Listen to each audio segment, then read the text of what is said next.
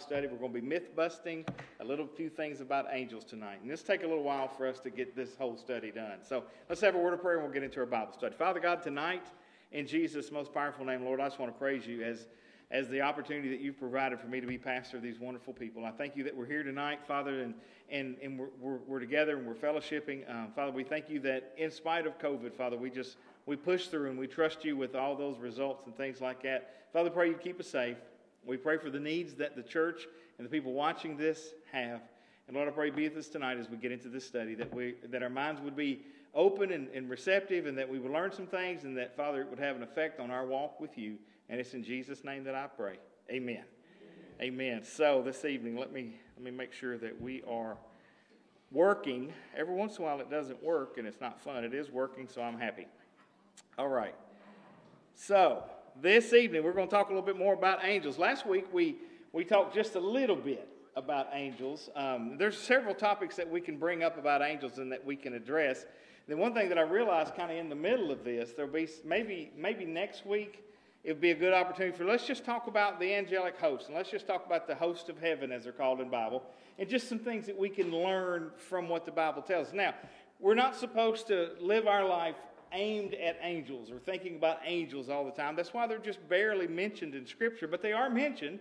So we're just going to kind of reflect on that just a little bit. So tonight uh, we're going to deal with, with one of the one of the with a few of the things that we think about when we think about angels, and then we're going to look at some Scripture that the verse that the verses in, in Bible say about it. So when we think of angels, anybody think of that?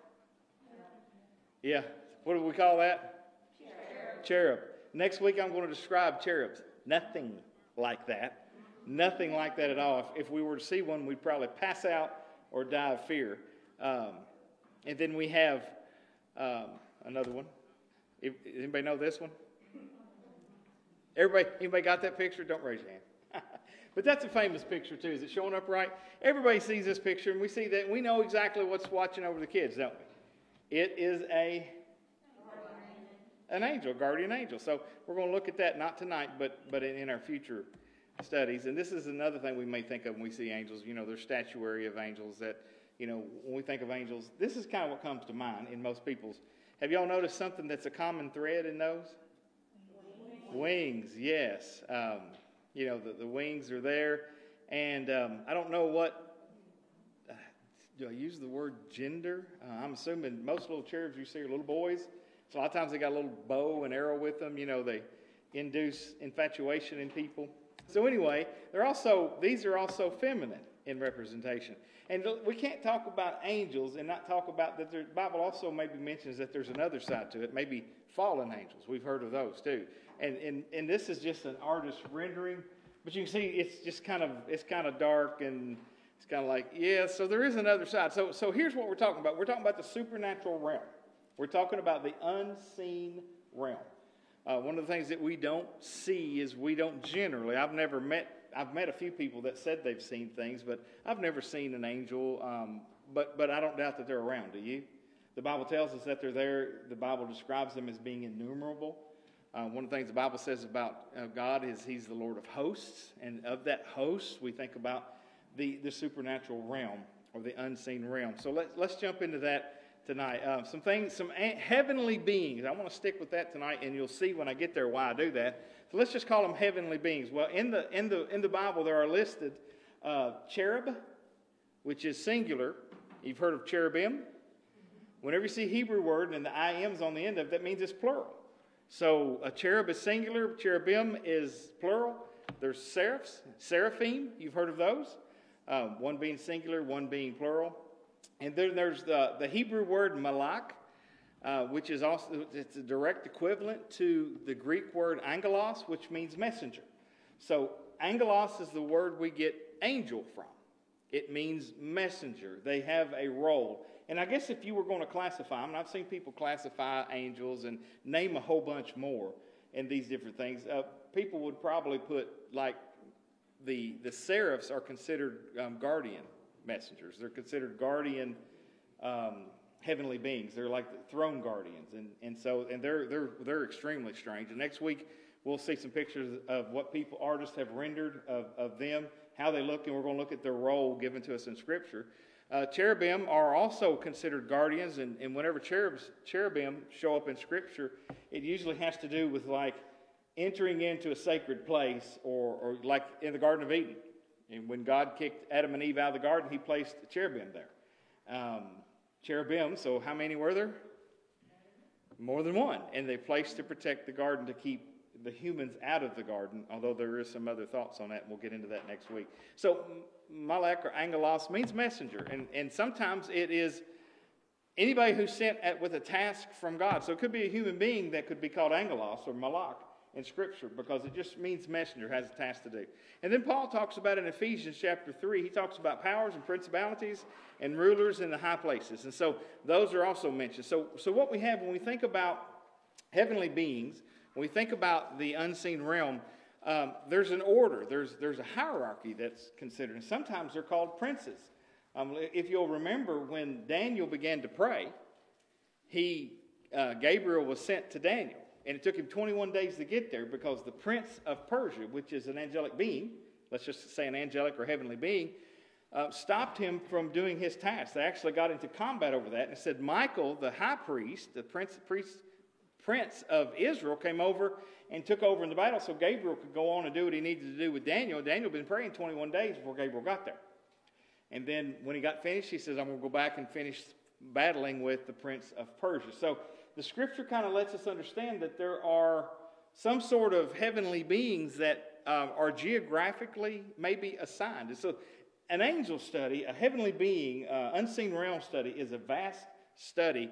And it's, I think, eye opening. It's one of my studies that I've been involved in probably since I was little because I've always liked those kind of things. And so I've always looked and studied and, and, and gone on. So, so, what are some things that we can, we can look at tonight? Maybe some myths that we can bust.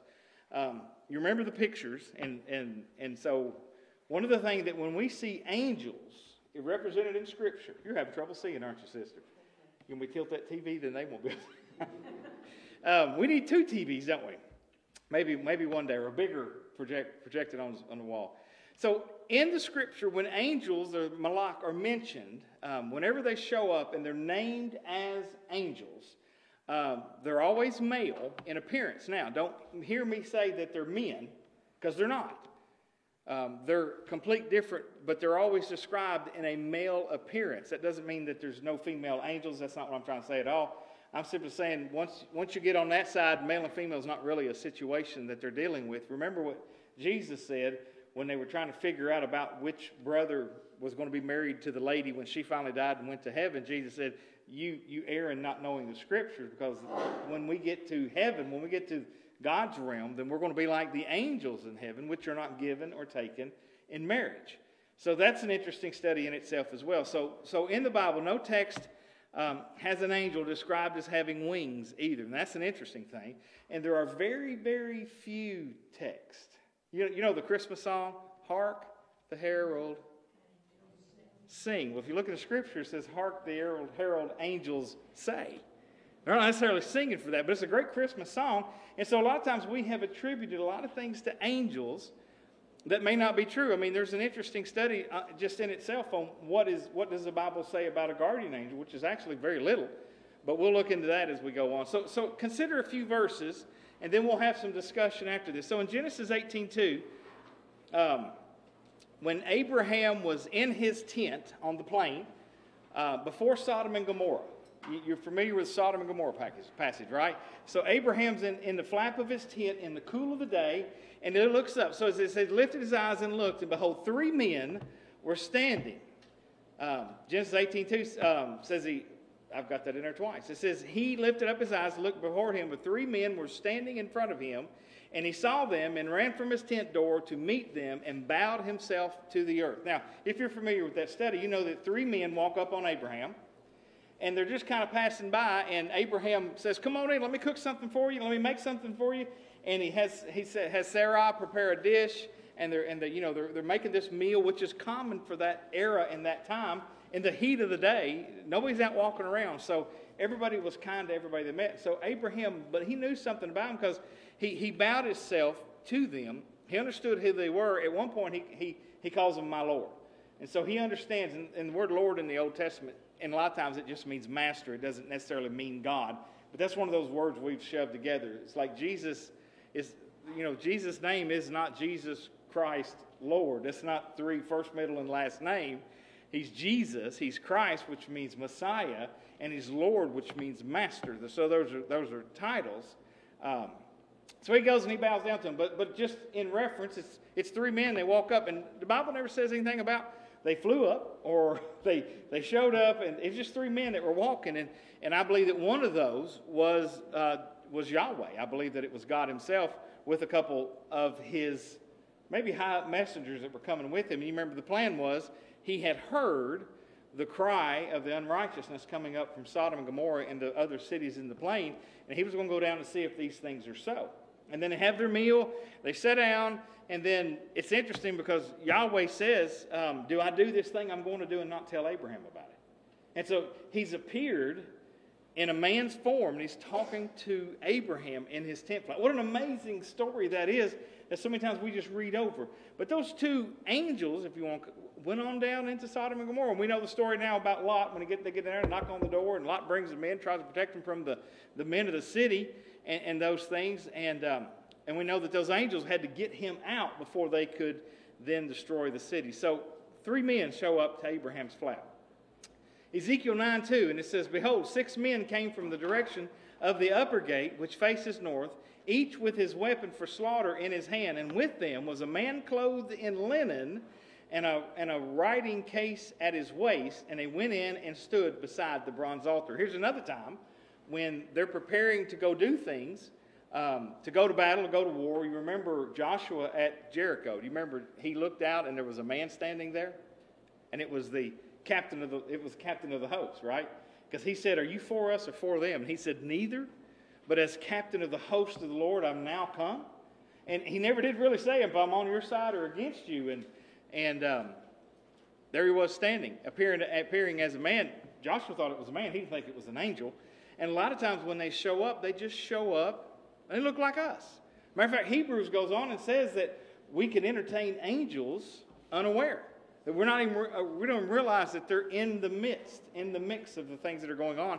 And those are the stories that you hear today. You hear t- today's stories about, you know, there was a wreck and, and, you know, there's some guy there, they don't know where he came from or what he was doing, but he helped in the wreck situation. They look up to thank him and he's gone. And you hear those kind of stories all the time how angels are involved. Now, remember, we looked last week that in Hebrews, the Bible actually says that they're ministering spirits to those that are going to inherit salvation. So, one of the main purposes of, of the angels, which are kind of down on the list as far as the order of the principalities and powers, they're here to minister to us. Remember when Jesus went into the wilderness, he was out there fasting for 40 days. And when it was over with, after the temptation and all that that came from Satan, when it was over with, it said angels ministered unto him. Remember, Jesus came and was fully human and fully, fully divine at the same time, but he had those, those struggles that, that human beings would have as far as being in a body and things like that, and angels ministered to Jesus. So they're ministering, but a lot of times when we think of angels, we always come up with a certain picture in our head. Now, there's nothing wrong with that picture. There's, there's nothing because again, when it comes to angels, uh, male and female is not a delineating thing. You know, my main thinking tonight is simply um, we don't see angels with wings. Now, we do see creatures with wings, and we're going to get into those next week. And, and the way they're described, they're pretty, pretty magnificent. Another verse to consider is in Luke 2, um, 2 through 4, and it says, And they found the stone rolled away from the tomb. So you know where we're at, right? We're at the resurrection of Jesus. Now, John actually says there was an angel there. But I wanted to read you this passage. And they found the stone rolled away from the tomb, and when they went in, they did not find the body of the Lord Jesus. While they were perplexed about this, behold, two men stood by them in dazzling apparel. Again, it never really says that they have wings. You know, that would be easy to pick out. If you walked outside and there was a creature standing in the parking lot with big wings and dazzling apparel, you'd probably say right off the bat, well, that's an angel. You, you could almost identify them because we've been programmed We've been trained through um, pictures and songs and these things of our life that, and that's, that's one of the reasons why we're doing this Mythbuster study is just so we can go back and say, what does the scripture actually say? There's nothing wrong with uh, if, if you've got a picture of an angel that you like, that, that like that angel walking across those bridges with those two kids. I think it teaches a story that is relevant to God. He watches over us, He protects us, He keeps us safe. And I'm not trying to take those things away from people that have those pictures that have great meaning to them, but I want everybody to be aware of what the Scripture says about angels. And, and there's, you know, again, not a lot of cases. So two men stood by them. How are they described? As two men. It doesn't say that there, there, were, there were two men with cloven hooves and wings and a sword out and, and all those different things. Uh, another one to consider is in Daniel 8 15 and 16. It says, When I, Daniel, had seen the vision, I sought to understand it. And behold, there stood before me one having an appearance of a man. Now, Daniel's kind of letting us into just a little bit here. He had the appearance of a man, but he knew something was different about this person. And behold, there stood one having the appearance of a man, and I heard a man's voice between the banks of the Ulai, and it called Gabriel, make this man understand the vision. So now we've actually got an angel that has an identifiable name. Now, there are lots of lists of names of angels um, that you hear, but in Scripture, in Scripture, what we consider the holy writings, you, it talks about Michael and it talks about Gabriel. And the Bible actually calls Michael in the New Testament an archangel. So we know that there's ranking in the angels. Michael is actually an archangel, which is above. He's, he's an angel above, and he's also the prince of the people of Israel.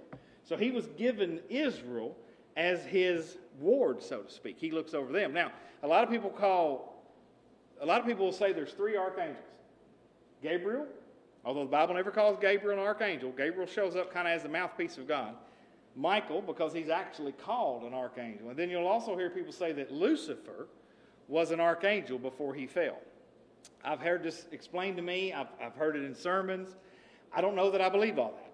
I don't know that I would that I would call Lucifer an archangel. I, and well, that's a whole other conversation itself. So let's, let's just say Satan. I don't know that I would call Satan an archangel or necessarily a fallen angel, although we do know there are fallen angels because the Bible tells us that Michael and his angels fought against Satan and his angels, and there was a great war in heaven. So we know that from Revelation that, that that's a thing, that there are opposing angels, and they're innumerable. A third of the angels, if you, if you do the math right, if Revelation is telling us that specifically, a third of the angels went with Satan when he fell. So that's an interesting spiritual war that's going on around us at all times. I mean, it's, it's a real spiritual war that's been going on. And so you hear that there's a man's voice that speaks, and it's, I believe that this is God speaking.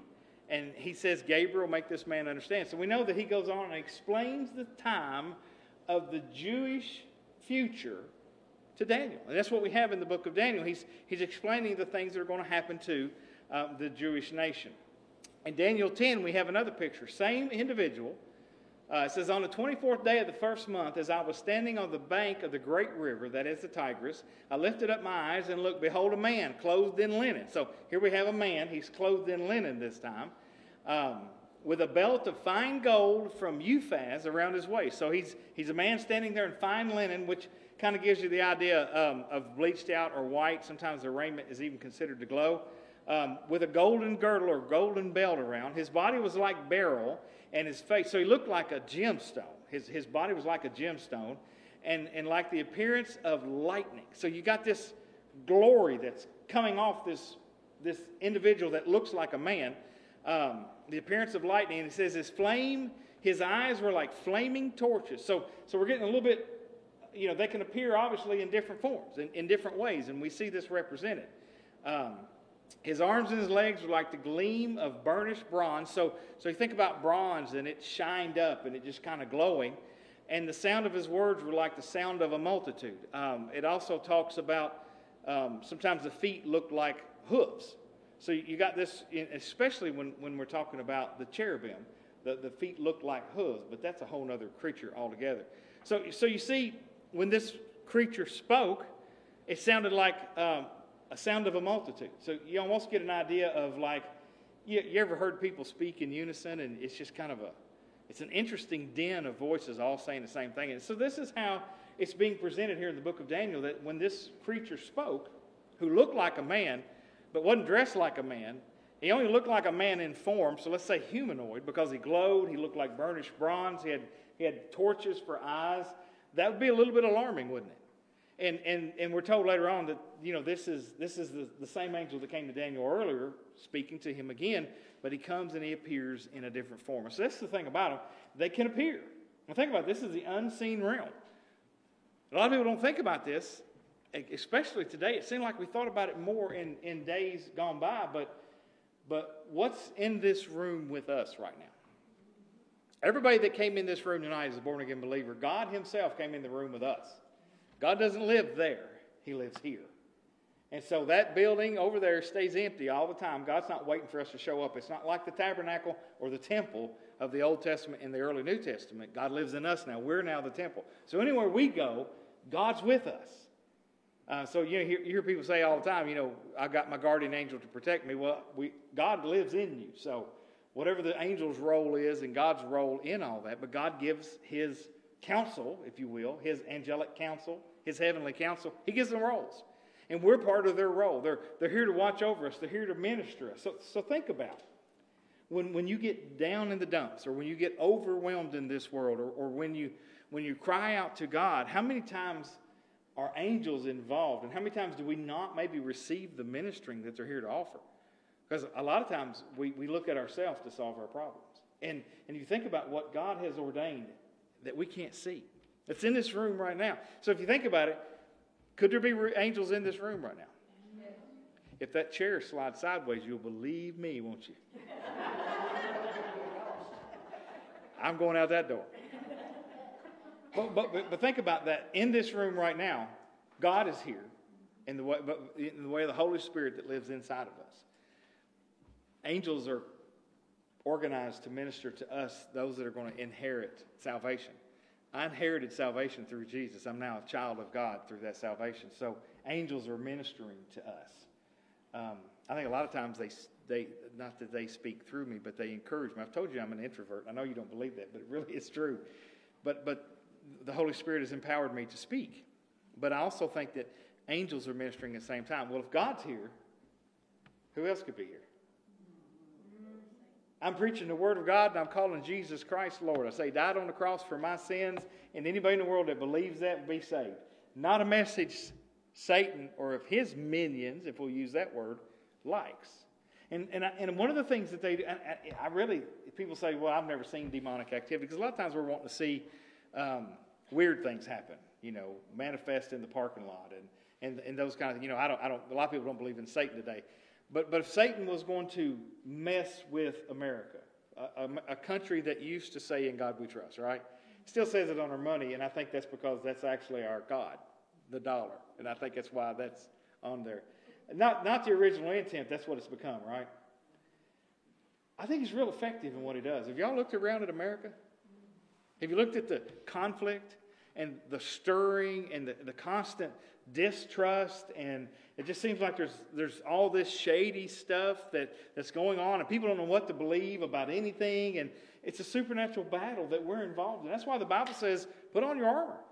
You know, put on, therefore, the helmet of salvation. You, you know you're saved, and, and that helmet protects that. You know, he can't get in your head and, and, and, and convince you that you're not loved by God. And, you know, the breastplate of righteousness that's imputed by Christ and then and then our feet shod with the preparation of the gospel of peace. And you know the, the, the shield of the, the, the shield of faith and the sword of the spirit all these things are listed. Why do we need armor? Why do we need god's armor that isaiah talks about? And then paul reiterates and changes it just a little bit in ephesians. Why do we need god's armor if there's nothing to it? If if there's nothing to it why why why is all this given to us in scripture? And, and so you, you think about it when we're mentally aware that we're caught up in a cosmic war, that we know God wins, amen? And we're on the winning side. We, what's great about the Bible is the end of things is in it. We can just flip ahead to the end and say, okay, whew, right? We win. We win. God wins. Now, that doesn't mean we're not going to suffer. That doesn't mean that we're not going to have temptation. That doesn't mean that we're not going to have trials. That doesn't mean we're not going to get down with the burden and care of life. But at the same time, if, if, if we know that God has ministering spirits out there for us, called angels, they're there to minister to us while we're, while we're here on this earth still. I don't think we're going to need them when we get to heaven, do you? I don't think we're going to need them for that. Matter of fact, the Bible says that we're going to judge angels at one place. So, you know, all this stuff that goes into that, and you think about these creatures. If, you know, a lot of people don't, can't, if I can't see it, I don't believe it. You ever met somebody like that? Had an atheist tell me one time that he didn't believe in God. I said, why don't you believe in God? He said, I don't believe in anything I can't see. And I'm like, do you have a mind? Yeah, I've got a mind. Have you seen it? But you believe you got one, don't you? It's funny how people use those silly excuses. Um, I actually convinced an atheist one time in a teaching um, to be an agnostic. So I got him that much closer, right? because he, he, he was a 19 year old and he's an atheist. You know, he was just, he, had, he was studying Dawkins and he was studying all these atheist teachers out there. So he had his, he had his ready defense of what he believes. So we got to talking and I said, well, I understand you've got all these angles, you've read all these books and all these philosophers, and I, and I understand that. I said, but I still think that atheism is an ignorant, wisdomless stance. And of course, he was highly offended because he thought himself of great intellect. And I told him, I said, you're probably more intellectual than I am, but let me, let me say this. You're saying there is no God as an atheist. He said, correct. There is no God. I said, so for you to prove that, let's, let's just take your inference to the nth degree. For you to prove that, for you to be able to say, because he also thought of himself as a scientist.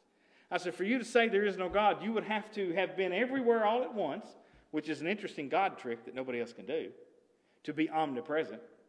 So that you can look under every rock and on every planet and on everything that's out there in the known and unknown universe. You'd have to see it all at one time because God could hide. When you're on Mars, He could run over to Jupiter and you never find Him. So you got to be at Mars and Jupiter so that God can't do that. For you to say there is no God. I said a wiser stance for you to say is you're agnostic, which means you can't know. And so by the end of the, end of the service, the people that, he, that brought him to church, they drove home. They, they worked at a camp, and it was a long drive for them. Before they ever got back to the camp that night, um, he was an agnostic. So, so at least he's now saying, I can't know. Uh, he may be back all the way convinced that there is no God, but at that point in his life, he, he was saying, I can't know. Well, if you're saying you can't know, that leaves a little room for doubt, doesn't it? It leaves a little room for God to work in his life. And that, see, that's what, that's what I believe the angels do. I think even those appointed for salvation, to inherit salvation, which I think means human beings, that part of their role is to be influencers in our life so that when the gospel is presented, and the Holy Spirit begins to work in our life, we begin to receive that gospel. Because I think that God works in our life. And I also believe that the other side works as well.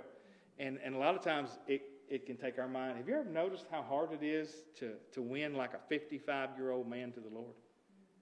Versus like a five year old child or a seven year old child or a nine year old child. You can tell them about God, and it's like they're so accepting and so receiving. But what we do is we grow older and we get more jaded and we grow more doubt and we begin to have these arguments against God. And what we're doing is we're just blocking out His influence in our life. We're basically saying, when we begin to get jaded and hard, we're beginning to say exactly what God says He cannot forgive, which is we're beginning to say, I reject you. And, and He'll let you reject. He won't force Himself on anybody. It's a free will thing. And, and we begin to, you know, we don't like the idea of a God out there. A lot of times we don't like, we like the idea of God and we like the idea of heaven. We don't like the idea of hell. And we don't like the idea of anybody telling us we can't do what we want to do. And so when the Bible says, thou shalt not, we take offense at that. Well, we're going to do it my way. Well, you don't understand. This is how I was born. Or I've got this tendency. I've got this trait. Or God's this cosmic killjoy. And what we begin to do, and we see people actually reject God. And I believe that there are angels demons, fallen angels, all of that's involved in that the whole time. That's why the preaching of the gospel and the prayer, prayer of the preaching of the gospel, and the prayer for the church, and prayer for the worship, and prayer for the singing of song. You know, the singing of the song, how many times do we sing a song? It's got the gospel in it. It's got the truth of Jesus Christ in it. It's got the truth of what it means to be in Christ. And the whole time, um, as Jesus said, the sower was sowing seed, and some fell on the hard path. And it says the birds of the air came and got that. And they, the disciples said, What do you mean by that? Jesus said, The, the, the birds of the air are, are the fallen angels. And, and they come and they steal that seed that's been spread as, as the preaching and the teaching of the gospel goes out. It's like seed, the Bible says. It's a metaphor.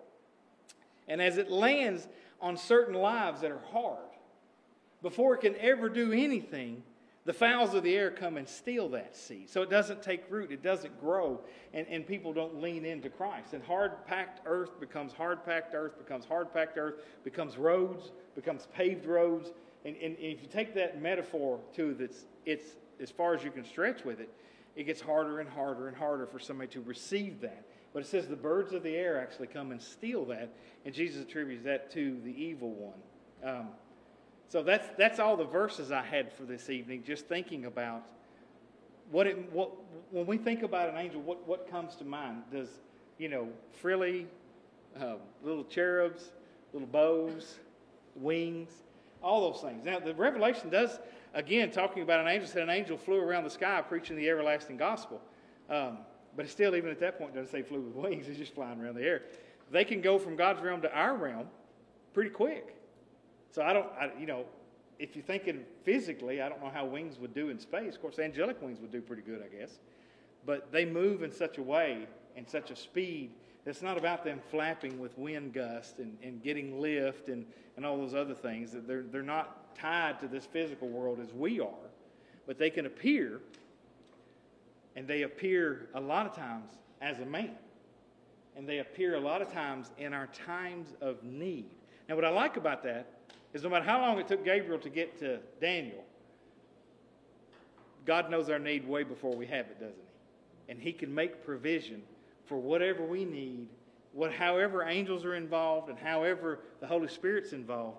God is actually orchestrating. I like that word, orchestrating in our life.